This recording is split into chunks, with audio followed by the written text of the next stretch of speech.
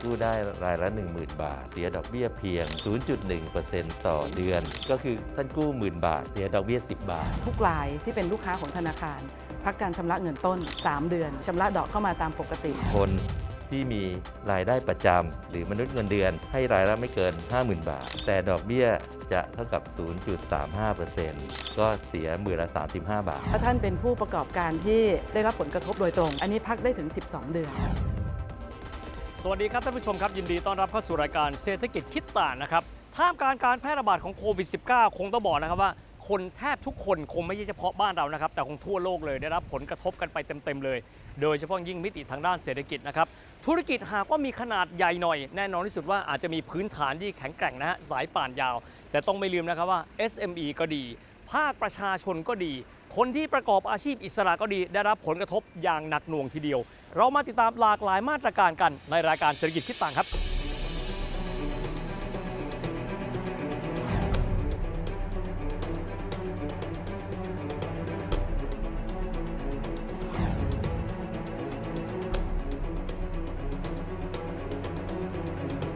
มาตรการในการให้ความช่วยเหลือ เติมสภาพคล่องลดผลกระทบในเชิงเศรษฐกิจกับประชาชนเนี่ย ทางด้านออมสินมีครับ แพ็กเกจอะไรบ้างครับท่านครับ ครับก็เอ่อจากเอ่อโครงการเรื่องของไอ้เยียวยา 5,000 3 เดือนเนี่ยนะครับครับออมสินก็เข้าไปอยู่ในลูปอ่าโดยที่อาจจะเป็นส่วนหนึ่ง แต่ไม่ได้เต็มที่นะครับอือฮึก็คือว่าเอ่อบางครั้งลูกค้าเข้าใจผิดก็มาเปิดบัญชีที่ออมสินอือฮึแต่จริงๆก็เปิดได้ทุกทุกแบงก์นะครับ แต่ถ้าเป็นลูกค้าออมสินเขาก็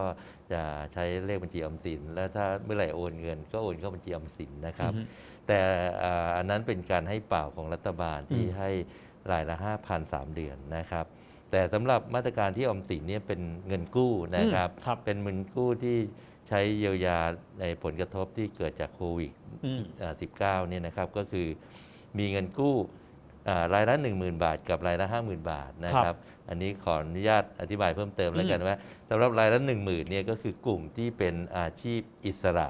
ครับคำว่าอิสระง่ายๆ คือไม่มีนายจ้างเป็นฟรีแลนซ์ครับนะครับเป็น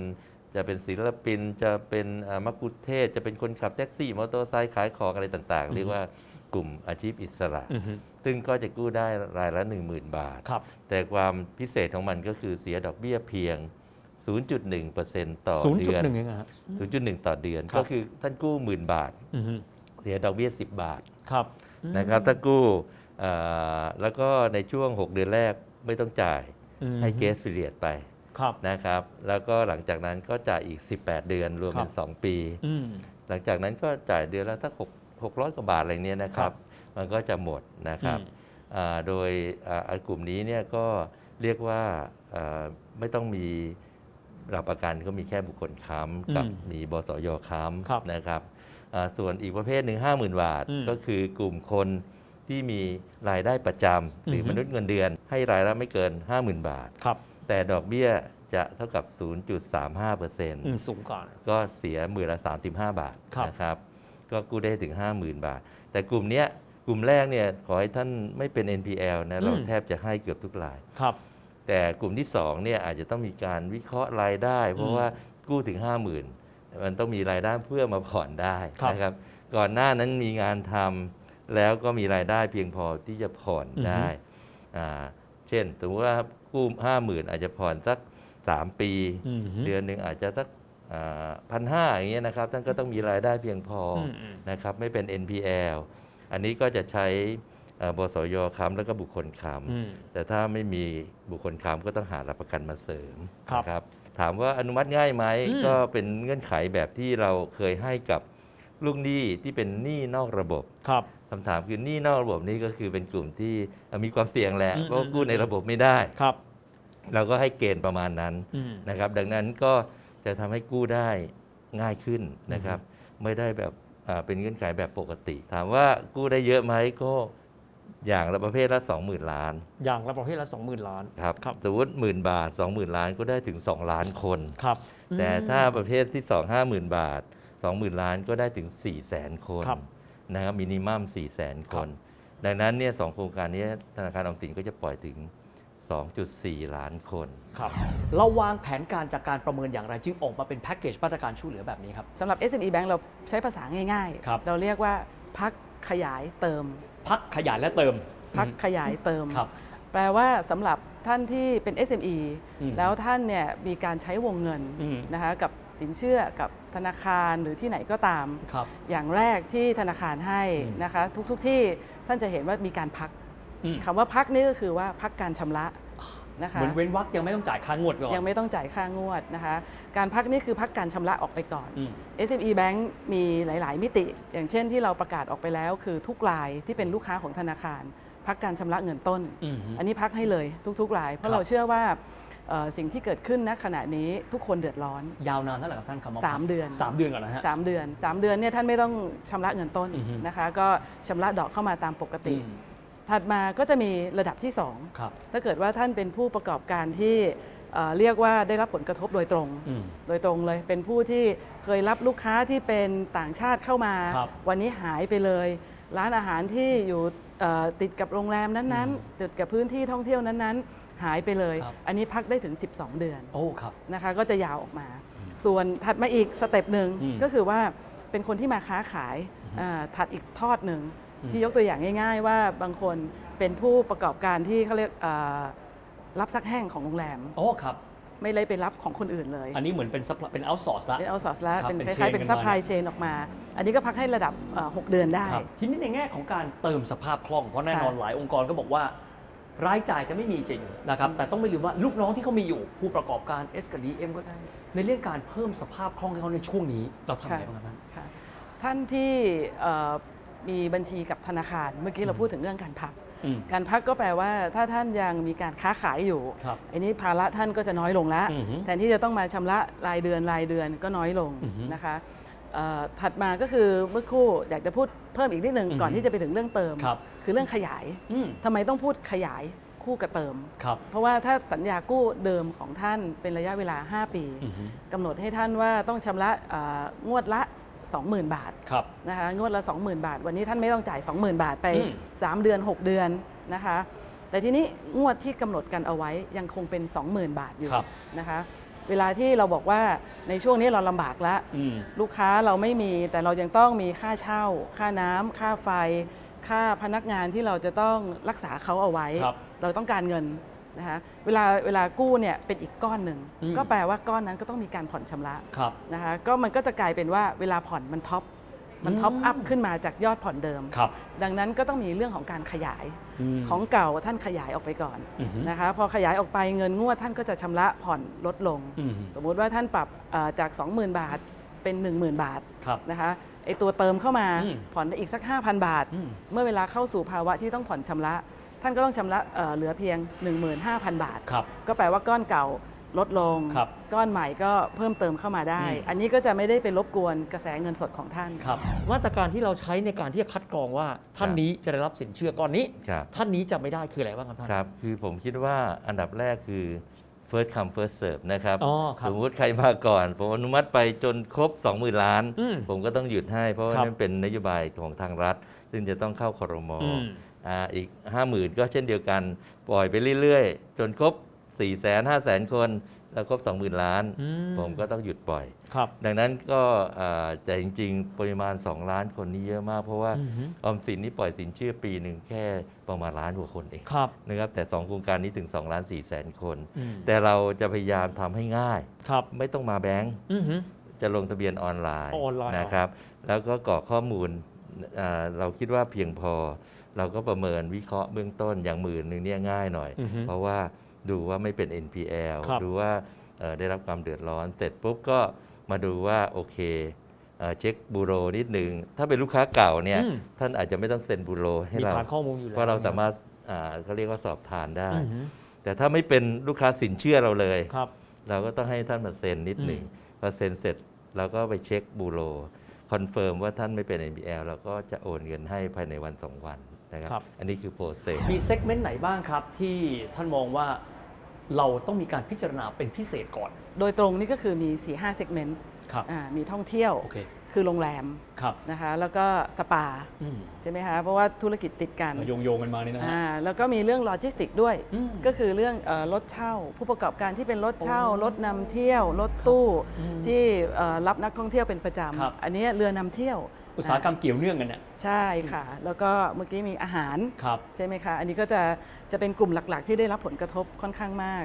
กลุ่มนี้จะเป็นกลุ่มที่ได้รับผลกระทบตรง ก็อย่างที่เรียนว่าถ้าเกิดคุยกับแบงก์ก็ขยายได้ยาวครัพับกเงินต้นได้ยาว แล้วก็จะมีเงินส่วนนี้ที่จะอัดฉีดเข้าไปอืมนะคะ ก็อัดฉีดมาเสริมสภาพคล่องในเรื่องของค่าใช้จ่ายครับลูกค้าแบงค์ท่านใดจะเป็นลูกค้าเก่าหรือใหม่ก็ได้นะฮะน่าจะรับการอนุมัติสินเชื่อ เพิ่มเติมก็ดี การขยายเทอมการจ่ายก็ดี ลำดับวิธีการในการที่เราพิจารณาเราพิจารณาจากอะไรครับท่านลูกค้าเดิม อันนี้เราช่วยเหลือจะมีความรวดเร็วอืมนะคะเอ่อสามารถ apply ทางแอปพลิเคชันเข้ามาได้อืมนะคะเอ่อการเติมเราก็จะดูวิธีดูง่าย ๆ เลยก็คือว่าท่านยังเป็นลูกค้าที่ยังเป็นปกติอยู่ไหมครับนะคะแต่ว่าแบงก์ชาติในช่วงที่ผ่านมา 1 เดือน ท่านอาจจะเคยได้ยินคำหนึ่งคำว่า PMT PMT หมายถึงว่าลูกค้าที่ความสามารถชำระหนี้ด้อยลงแล้วอ๋อฮะนะคะทางแบงก์ชาติหรือว่าสถาบันทุกที่เนี่ย คุยเข้าไปคุยก็คืออย่าพักหนี้ก่อนอะไรก่อนนะครัคะบก็เขาไม่ได้ถูกทรีตว่าเป็นหนี้เสียอืมนะคะอันนี้ก็ก็เสริมสภาพคล่องไปด้านหนึ่งลูกค้าเหล่านี้สามารถเข้ามาพูดคุย แล้วก็เติมเงิน ก็จะมีมีมาตรการของธนาคารที่เติมเงินภายในของเราครับสำหรับลูกค้าเดิม อันนี้จะทำได้รวดเร็วนะคะเพราะว่าก็จะทราบประวัติการชำระกันดีอยู่แล้วครับก็จะมีหลักเกณฑ์เช่น ถ้าเป็นลูกค้าที่เป็นนิติบุคคลอืมอ่าอันนี้เติมได้ถึงเอ่อ ไม่เกิน 1 ล้านบาทครับถ้าเป็นบุคคลธรรมดาที่กู้ในชื่อบุคคลธรรมดา อันนี้ก็เติมประมาณ 5 0 0แสนบาทครับคือเราคำนวณตามอ่าขนาดของลูกค้าที่อยู่ในพอร์ตของเราอยู่แล้วสำหรับลูกค้าใหม่ก็สักครู่ก็ก็เรียนว่าก็จะมีโครงการที่กระทบตรงอืมที่รัฐบาลให้ไว้นะครัคะบอันนี้เอ่อเน้นนิดหนึ่งว่าจะเป็นลูกค้าที่เป็นนิติบุคคลอืมนิติบุคคลก็คือพวกเอ่อผู้ที่มีการเสียภาษี มีการครับจดทะเบียนถูกต้องอืมอันนี้เราต้องการให้เกิดความรวดเร็วอือฮึนะคะ เราจะใช้วิธีว่าเมื่อสมัครเข้ามานะคะท่านก็เอ่อแจ้งมาว่าเลขทะเบียนนิติบุคคลคือเลขอะไรครับเราสามารถที่จะดึงข้อมูล การเสียภาษีงบการเงินของคือท่านมีมาดูฐานได้ข้อมูลเดิมให้เราใช่สามารถเช็คได้แล้วด้วยใช่อันนี้ด้วยความประสงค์ที่เราต้องการให้เกิดความรวดเร็วอือฮึดังนั้นสิ่งที่ท่านดีแคลร์ไว้เนี่ยมันชัดเจนอยู่แล้วว่ารายได้กับรายจ่ายของท่านเท่าไหร่ครับเราจะเห็นรายจ่ายของท่านอืมนะคะแล้วก็สามารถเอามาคำนวณเพื่อตั้งวงเงินได้ครับอันนี้ก็จะเป็นไปด้วยความรวดเร็วเหมือนกัน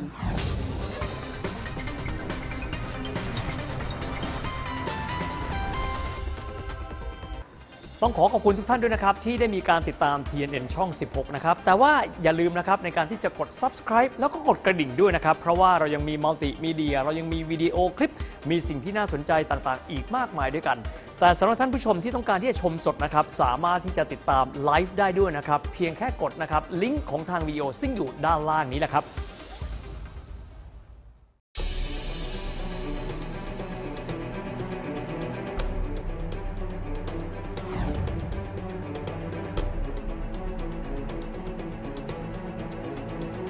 กลุ่มอาชีพอิสระกู้ได้รายละ 10,000 บาท เสียดอกเบี้ยเพียง 0.1%ต่อเดือน ทุกรายที่เป็นลูกค้าของธนาคาร พักการชำระเงินต้น 3 เดือนชำระดอกเข้ามาตามปกติ มนุษย์เงินเดือนให้รายละไม่เกิน 50,000 บาท แต่ดอกเบี้ยจะเท่ากับ 0.35%ถ้าท่านเป็นผู้ประกอบการที่ได้รับผลกระทบโดยตรง อันนี้พักได้ถึง 12 เดือน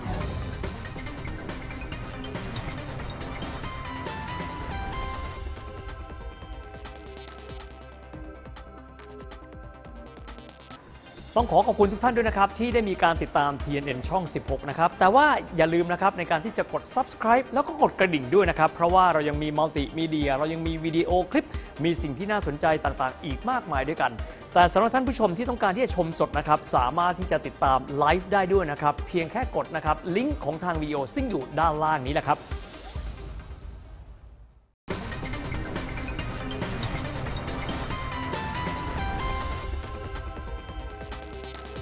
ถึงแม้ไม่จ่ายเงินต้น ก็ยังต้องมาจ่ายดอกเบี้ยอยู่อย่างเงี้ยมันก็เดือดร้อนดังนั้นออมสินจึงมีโครงการพักต้นพักดอก 3 เดือนอัตโนมัติ เข้ามาพูดคุยกับธนาคาร แจ้งว่าค่าใช้จ่ายมีอะไรบ้างครับธนาคารก็จะสนับสนุนเงินก้อนนี้ให้ท่านอยู่ได้ใน 12 เดือนนี้ จนกว่าเหตุการณ์จะคลี่คลายนะคะทำไมคิดว่า 10,000 บาทคิดว่าน่าจะเป็นเงินที่สมเหตุสมผลในการที่เข้ามาสู่แพ็กเกจและอีกส่วนหนึ่งทำไมต้องเป็น 50,000 บาทครับครัท่าบนก็เรียนแบบนี้นะครับว่าเอ่อรัฐมีการช่วยเอ่อเอ่อ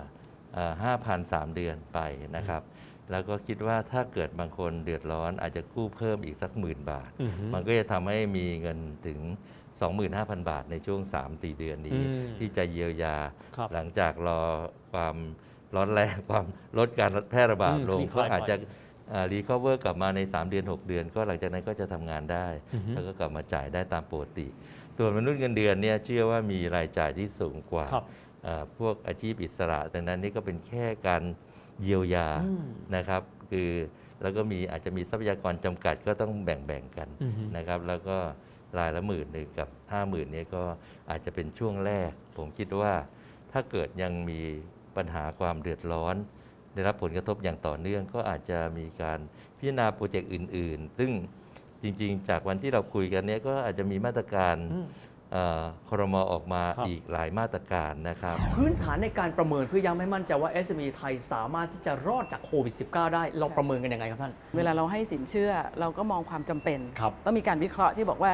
มีการวิเคราะห์ มีการไปสัมภาษณ์อืมมีการไปดูว่าท่านจะขายได้อย่างไรครับเงินที่ได้ไปมีการลงทุนอืมเครื่องจักรใหม่ลงทุนในสต็อกใช่ไหมคะแต่ภาวะวันนี้มันไม่ใช่ครับภาวะวันนี้เอ่อยอดขายก็ตกอืมทุกอย่างก็ลด ดังนั้นสิ่งที่สถาบันการเงิน โดยเฉพาะสถาบันการเงินของรัฐอืมแล้วก็นโยบายของรัฐบาล คือเราให้จากค่าใช้จ่ายแล้วครับวันนี้อย่างที่อ๋อเรียนเมื่อครู่ว่ามีค่าใช้จ่ายมีเป็นภาระเนี่ยเพื่อพวกไม่ที่เป็นให้รูทีนนะค่าใช้จ่ายปกใช่ตินะใช่ค่ะ เพราะว่าจะไปมองอนาคตก็คงไม่ใช่ อันนี้คือเป็น working capital เสริมสภาพคล่องช่วงสั้นครับดังนั้นถ้าถ้าเอ่อกิจการยังมีค่าใช้จ่ายตรงนี้เข้ามาพูดคุยกับอืมธนาคาร แล้วก็แจ้งว่าค่าใช้จ่ายมีอะไรบ้างครับ อย่างนี้รัฐบาลหรือว่าธนาคารก็จะสนับสนุนเงินก้อนนี้ให้ในช่วงอาจจะคิดว่า 12 เดือนครับให้ท่านอยู่ได้ใน 12 เดือนนี้อืมจนกว่าเหตุการณ์จะคลี่คลายครับนะคะตรงนี้องค์คาพยพต่างๆของธนาคารที่เตรียมการครับกันเอาไว้เป็นยังไงบ้างครับคท่ารันคือบอกว่าแบบนี้นะครับเราเริ่มลงทะเบียนสมัครตั้งแต่ 15 เมษาอืมแต่เราไม่ได้ปิดจนกว่าจะวันที่ 31 ธันวาโอ้63 ครับ คือลงทะเบียนได้ยาวเลยครับนะครับ แต่นั้นเนี่ยถ้ายิ่งลงทะเบียนแบบแบบ ไม่ได้ติดกันหรือเป็นกระจุกตัวทีเดียวมาอืมล้านคนสองล้านคนเนี่ยทยอยกันมาเรานี่นะก็เอ่อพยายามจะทำให้เร็วประมาณจริง ๆ หลังจากที่วันที่ 7 ลงทะเบียน แล้วก็วันที่เออวันที่ 15 ลงทะเบียน แล้ววันที่ 7 พฤษภาเนี่ยเราเรียกว่าเราอาจจะประมวลข้อมูลได้เกือบเกือบหมดอืมแล้วก็รายไหนอนุมัติเราก็แจ้งผลครับให้ติดต่อแบงค์ตั้งแต่วันที่ 7 พฤษภาเป็นต้นอือฮึไปนั่นแปลว่าเอ่อเราจะ เราจะสามารถให้ใช้เงินได้ ผมเชื่อว่าหลายคนฟังน่าสนใจนะ แต่ค่ะบางครั้งองค์คาพยพขับเคลื่อนอาจจะไม่ได้เร็วเท่านั้น เรามีค่ะมาตรการรองรับไงครับ คืออยากให้มีการเตรียมตัว เพราะว่าอืมด้วยมาตรฐานการให้สินเชื่อ มันก็ต้องมีเรื่องของการเรื่องเอกสารอืมเรื่องการตรวจสอบข้อมูลต่างครับๆนะคะ อันนี้เดี๋ยวเราจะมีการเผยแพร่มาว่าเอ่อผู้ประกอบการที่สนใจที่สมัครเข้ามาในเว็บแล้ว สิ่งที่ท่านต้องเตรียมอืมคืออะไรบ้างเอกทะเบียนไอ้ไอ้หนังสือจดทะเบียนบุคคล การเปลี่ยนชื่อบ้างอะไรบ้าง รวมถึงงบการเงิน ถ้าจัดเป็นชุดให้เรียบร้อยอือฮึติดต่อเข้ามาทุกอย่างเอ่อดึงมาจากกรมสรรเอ่อสรรพากรอืมจากงบการเงิน อันนี้ก็จะรวดเร็วนะคะครับมันจะลดการเอ่อเขาเรียกว่าการสัมภาษณ์อืมการขอเอกสารเพิ่มเติมได้มากครับเนื่องจากต้องยอมรับว่าเมื่อเมื่อเราคิดว่าเราจะให้จากค่าใช้จ่ายอืมที่คุณดีแคลร์ไปแล้วครับอันนี้ก็จะจบปัญหาไปได้อย่างหนึ่งครับนะคะ แต่ว่าสำหรับท่านที่อาจจะมีมีข้อมูลที่มากกว่านั้น นะคะก็เพิ่มเติมได้ แต่ท่านต้องก็ต้องเข้าใจนิดนึงว่าเนื่องจากเราต้องการให้รวดเร็ว อืม ก็อาจจะแบบเป็นก้อนหนึ่งที่เป็นมาตรฐานที่ชัดเจนที่ปรากฏในงบ การให้สินเชื่อในลักษณะ สถานการณ์ฉุกเฉินแบบนี้เนี่ยอาจจะมีเรื่องความเสี่ยงที่อาจจะนำไปสู่ NPL ได้ ส่วนนี้ประเมินเรื่องความเสี่ยงเอาไว้ยังไงบ้างครับ ครับก็อันนี้ต้องขอบคุณนะครับ เพราะว่าบางคนเนี่ยคิดว่าอันเนี้ยต้องให้ฉันร้อยเปอร์เซ็นต์อืมไม่ต้องดูอะไรเลยเนี่ยนะครับ ขออนุญาตให้เข้าใจออมสินว่า เรา ปล่อยสินเชื่อ ถ้ามีความเสี่ยงอือฮึเราก็ต้องอาต้องเสียหายครับแล้วเราก็เอาเงินประชาชนมา แล้วมาปล่อยสินเชื่อ เราก็ต้องโปรเทคทั้งสองฝั่งนะคครัรับบปล่อยแล้วต้องไม่เสียหาย แต่ครั้งนี้เนี่ยรัฐบาลมีความช่วยเหลือออือฮึก็คือโครงการ 10,000 บาทเนี่ยครับท่านจะค้ำประกันเอ่อเงินกู้ที่เป็น NPL อืมโดยจ่ายให้ร้อยเปอร์เซ็นต์เลยครับในกรณีที่ NPL ไม่เกิน 50เปอร์เซ็นต์ อันนี้ก็แปลว่าอืมถ้าออมสินปล่อยแล้วหนี่เสียไม่เกิน 50เปอร์เซ็นต์เนี่ยเราก็ไปขอชดเชยจากนึกออกรัฐบาลครับส่วน 50,000เนี่ยเขาจะชดเชยแค่ NPL แค่ 30%ของครับ NPL ที่อืมเกิดขึ้นนะครับ ก็ก็โอเคก็เราต้องปล่อยไม่เกิน ไม่ให้เสียเกิน 30%ดังนั้นเราก็ปิดความเสี่ยงได้ครับนะเสียหายอันนี้รัฐบาลยินดีจะช่วยประชาชนครับเราก็คิดว่าเราสามารถปิดความเสี่ยงได้ระดับนี้ครับครับการบริหารจัดการความเสี่ยง ที่อาจจะนำไปสู่เรื่องของ NPL ในอนาคตมาตรการเป็นไงครับท่านคือสิ่งที่เรา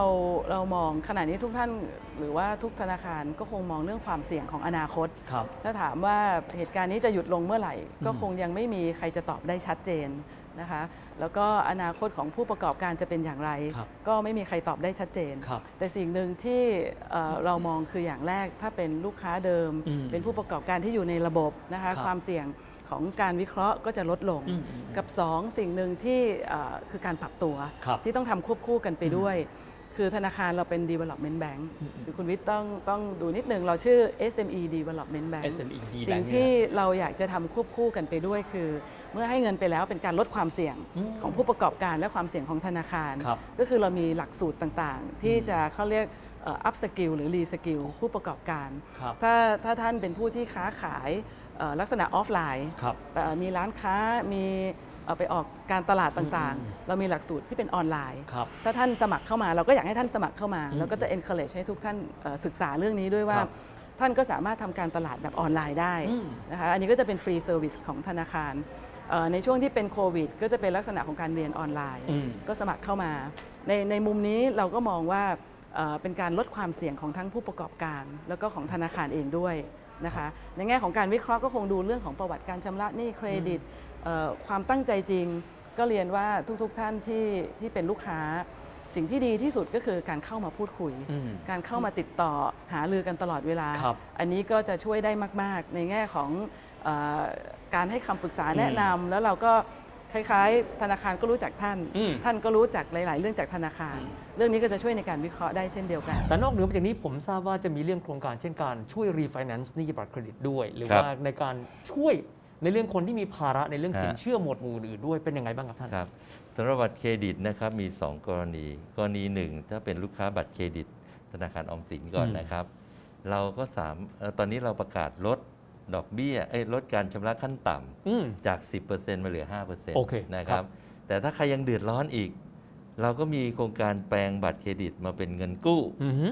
นะฮะแล้วก็ให้ผ่อนสัก 4 ปีครับแล้วก็ผ่อนสักประมาณ 2.5%ของอืมยอดค้างสมมติวันนี้ค้างแสนหนึ่งอือะอฮึเดิมต้องจ่ายหมื่นหนึ่งอืมเราวันนี้ลดเหลือ 50,000 แต่ถ้ายอมแปลงเป็นเงินกู้ เราก็เหลือ 2 2,500 ก็คือเหลือ 2.5%ครับถ้าผ่อน 2,500 ไปสัก สัก 4 ปีครับก็หนี้ก็หมดนะครับเงิน1 0 0 0 0แสนแปบาลทงเป็นเงินกู้ได้ด้วยเพิ่งทราบครับอืมแปลงเป็นเงินกู้ อันนี้คือลูกค้าออมสินครับแต่ถ้าปัจจุบันเป็นลูกค้าแบงก์อื่นอืมเราก็ยินดีถ้าเกิดว่าแบงก์นั้นๆ ไม่ได้ช่วยเหลืออะไรครับก็แปลงเป็นเงินกู้ที่ออมสินอ๋อแล้วก็ให้ครับผ่อนเท่ากับ 2.5%ของยอดค้างปัจจุบันเขาแหละครับแต่ขอให้เขาไปยกเลิกบัตรซะอืมเพื่อไม่ให้เป็นยอดเบิ้ลครับของของหนี้ครับนะภาระมันจะไม่ ทบต้นไม่ดับเบิลเข้าไป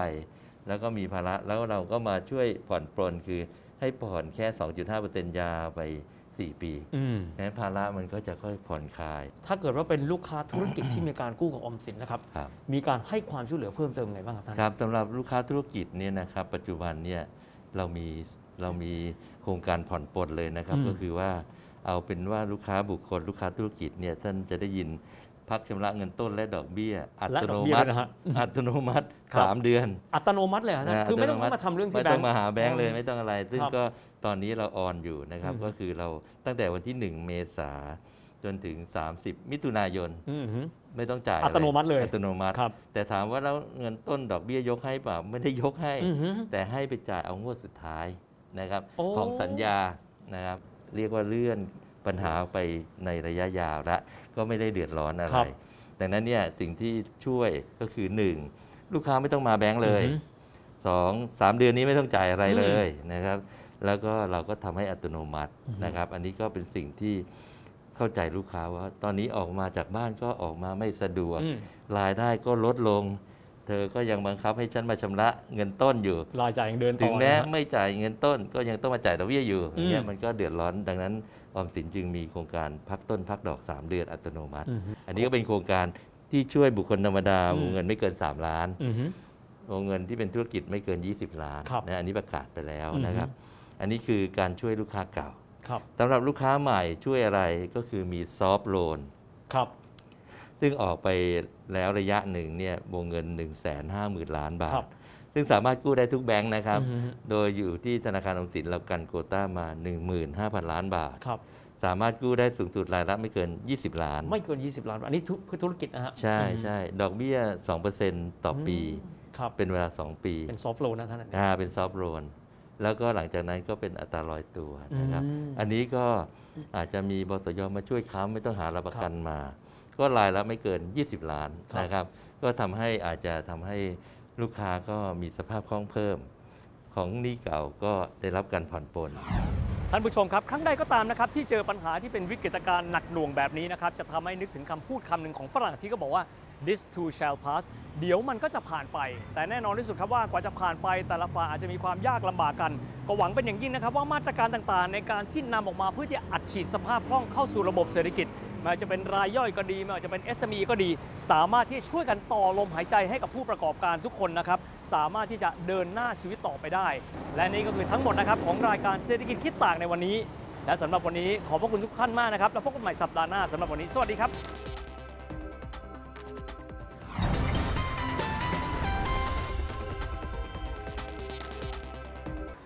ต้องขอขอบคุณทุกท่านด้วยนะครับ ที่ได้มีการติดตาม TNN ช่อง 16 นะครับ แต่ว่าอย่าลืมนะครับ ในการที่จะกด subscribe แล้วก็กดกระดิ่งด้วยนะครับ เพราะว่าเรายังมีมัลติมีเดีย เรายังมีวิดีโอคลิป มีสิ่งที่น่าสนใจต่างๆ อีกมากมายด้วยกัน แต่สำหรับท่านผู้ชมที่ต้องการที่จะชมสดนะครับ สามารถที่จะติดตามไลฟ์ได้ด้วยนะครับ เพียงแค่กดนะครับลิงก์ของทางวิดีโอซึ่งอยู่ด้านล่างนี้นะครับ